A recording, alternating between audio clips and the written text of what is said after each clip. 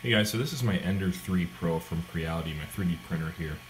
Um, and I just want to show you the main thing I found gives success when printing with ABS. As you can see here, I have Matters Hackers regular ABS black.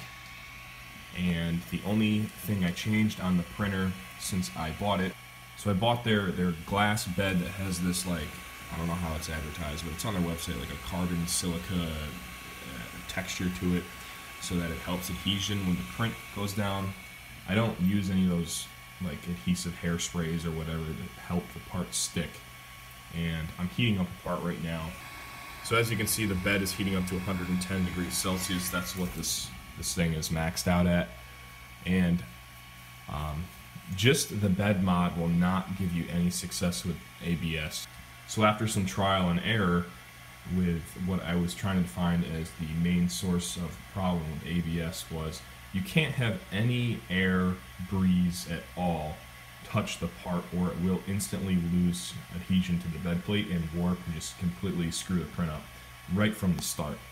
And once I made this mod, which I'm going to show you here in a second, now I know there's a lot better materials out there such as PETG to use with this printer, which is probably what I'll switch to next, but the main source that I wanted to use the printer for was to print automotive parts, and PLA will definitely not handle the heat.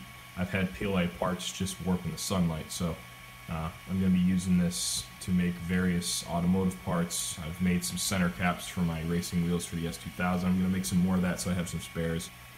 But they will see rather high temperatures, so the highest temperature rated material I can get is my goal. So here's just a quick look at the one thing I found is the biggest key thing to need to do to this printer to allow it to print ABS successfully, even on an open frame. And that is to tape off the entire underneath. Now this is like HVAC duct taping. It's not foil, so it's a little flexible, but I kind of built an air scoop so that the intake air comes in through here. And right now the part fan is off, but from what I found, the part fan and the hot end fan are both like the same thing. They both blow air like straight down at the part. Uh, just because of the sheet metal construction, there's really gaps everywhere. If you turn the part fan off, there's no way to turn the hot end fan off. Obviously, you don't want to turn that off, but it just continuously blows air down at the ABS print.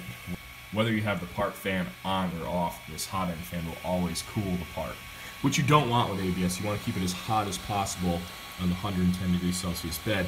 So I kind of just built an air scoop with some HVAC tape. It kind of looks pretty ghetto, but I sealed off the nozzle and no air can touch the part now. And on the back side, I built a little scoop that directs the air upward.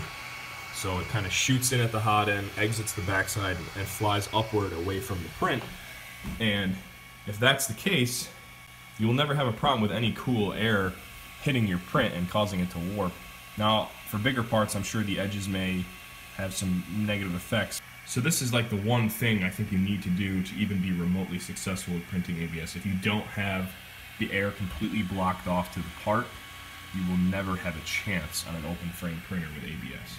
Now, the only negative setup about my uh, duct there is it kind of does get temporarily crushed when it um, zeroes out, moving to the left.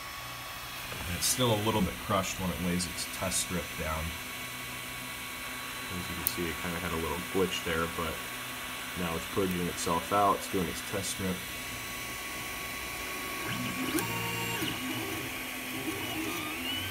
And now it's doing the first layer of the print.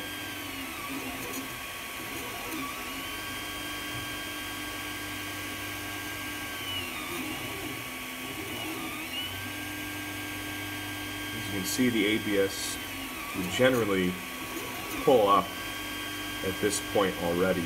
It would already kind of just peel off and this would be kind of zigzagging everywhere and not doing anything effective. But when I do print with ABS, I always print with a brim. So it does maybe 10, 11, 12 layers of a brim around the part that you just snap off when you're done with the print. And that helps the adhesion to the bed as well.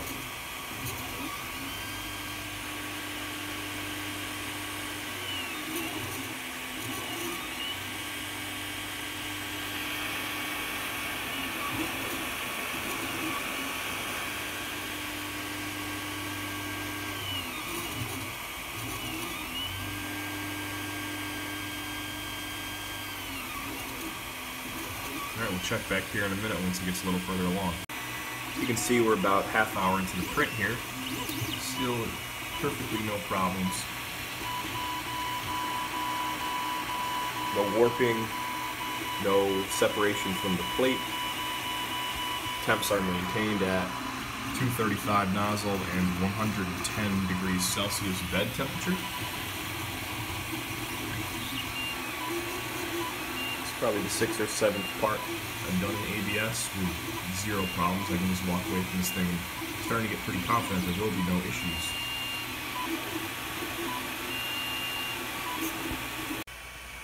Alright, so the part just finished.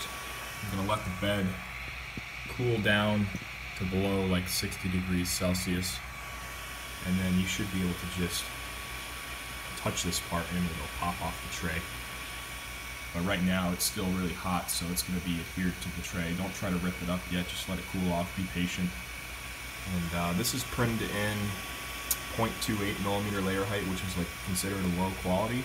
I don't really care about the finish on this part. This part's actually a Nest doorbell adapter to offset the angle of a doorbell mounted on siding that I designed, so I don't really care how it looks as long as it's just functional. Alright, so the nozzle is completely cooled down to room temperature and the bed's around 44, so that should be plenty cool enough to grab apart. Just know how to grab it and didn't even stick to the bed because once the bed cools off, this thing separates itself from the bed. So as you can see, I have my brim printed around the edge of the part, which helps adhesion. And then there's the part in the middle. all you do is just break off the brim, and there's your, your part. So thanks guys for watching. Give this video a thumbs up if you found it helpful. Let me know if you've had uh, success printing with this printer or any other open frame printer with uh, ABS.